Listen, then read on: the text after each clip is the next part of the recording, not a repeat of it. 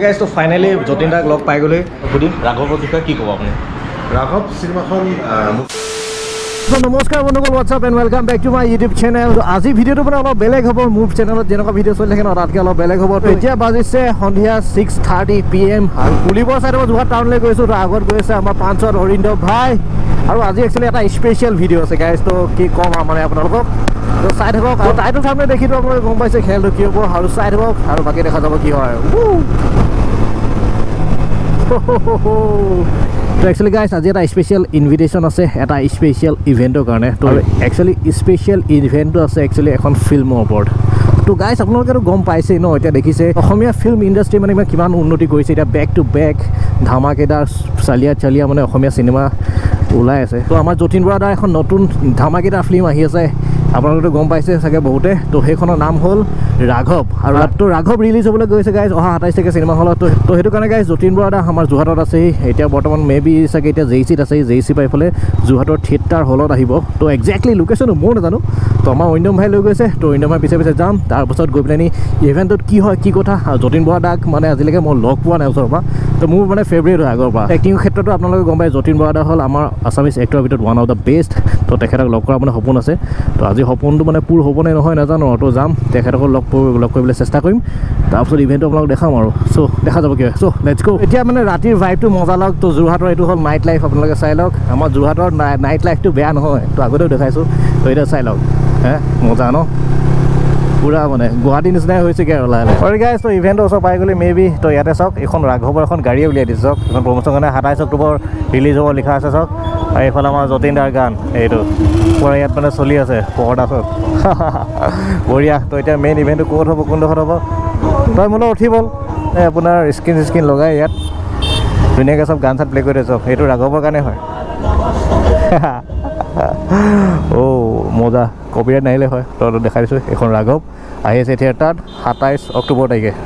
ব'ল ব'ল let's গ' তো এইফালে লেফ্ট ছাইডে যোৰহাট থিয়েটাৰ। তো ইয়াতে হ'ব গাইছ ইভেণ্ট যোৰহাট থিয়েটাৰ হ'ল গাইছ এইটো এইটো আজি প্ৰথম আহিছোঁ। এইটিন নাইণ্টি ছিক্স স্থাপিত। মাতিছিলে যতীন দা মানে এতিয়ালৈকে পোৱাহি নাই। তো সেইকাৰণে আমাৰ ভোক লাগিছে ভাই? পূৰা ভোক লাগিছে। পূৰা ভোক লাগিছে। তো যতীন দাক মানে পোৱা আগতে ভালকৈ খাই লওঁ। তাৰপিছত আছে এইফালে থিয়েটাৰ যোৰহাট থিয়েটাৰ ফটোতে আমি খাই লৈছোঁ। ধুনীয়াকৈ ফ্ৰাইডে তো খাই মেলি লওঁ। তাৰপিছত অলপ পিছত আপোনালোকক দেখাই আছোঁ যতীন দাৰ লগত লেটছ গ' ৰাঘৱ আহিছে ৰাঘৱ।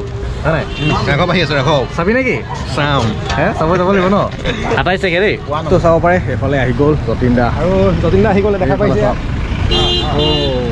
এইফালে গাড়ীত কম ঠিক আছে হ'ব হ'ব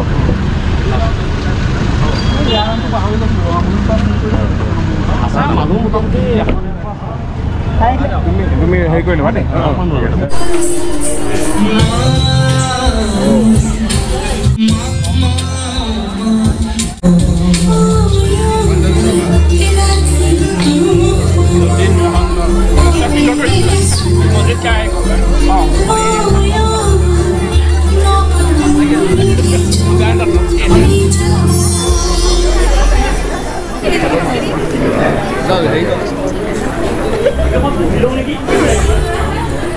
পঢ়িলৈ কথাখিনি আলোচনা কৰিম বুলি ভাবিছোঁ আমি ফটো কামটো পিছত কৰিম নেকি সাহস কৰিলোঁ ছবিখন লাগি।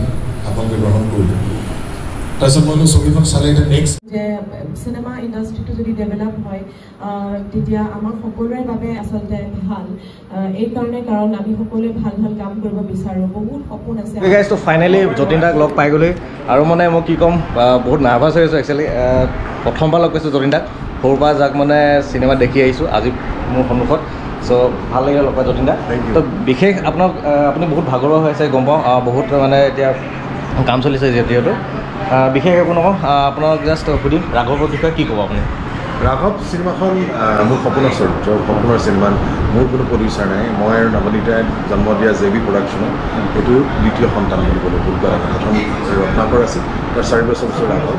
ৰাঘৱ ভাল পাব যিহেতু নিজৰ বহুত প্ৰচেষ্টা কষ্ট চব মিলি পেলাই জন্ম হৈছে ৰাঘৱ। আৰু ৰাঘৱ এটা কাৰণে ভাল লাগিব প্ৰত্যেকে নিজক বিচাৰি পাব চিনেমাখনত পৰিয়ালৰ মানুহ যদি একেলগে বহি চাই নহয় সৰু বাচ্ছাক মানে কনিষ্ঠজনক বা জ্যেষ্ঠজনলৈকে সকলোৱে কাৰোবাৰ প্ৰেমিকক বিচাৰি পাব কাৰোবাৰ নিজক বিচাৰি পাব এই চৰিত্ৰবিলাক যেতিয়া অন্তৰত খাওঁতে বস্তুটো চুব মই ভাবোঁ নিশ্চয় এই ছবিখন আপোন হৈ পৰে নিজৰ হৈ আৰু মই এটা কথাই কওঁ যে বত্ৰিছ বছৰ জাৰ্ণি পিছত এই কামবিলাক কৰিব লৈছোঁ কিহৰ কাৰণে?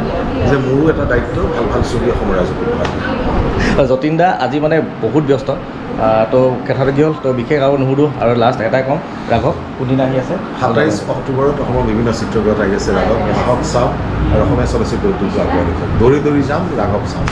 থেংক ইউ তো যতীন দাক পাই মানে ন মুখৰ পৰা একো কথাই নোলালে গাইছ এনেকুৱাই নাৰ্ভাছ লাগিলে। তো তেওঁ বহুত ভাগৰুৱা যথেষ্ট ব্যস্ত হৈছিলে তো বিশেষ কথা নাপাতিলোঁ তো যিমানখিনি পাওঁ সুধিলোঁ। আৰু এতিয়া বাজি গ'ল চাওক টেন থাৰ্টি থ্ৰী অহ গাভৰু কিছু ৰ'ল কৰিছে বে পাৰ্কিঙত।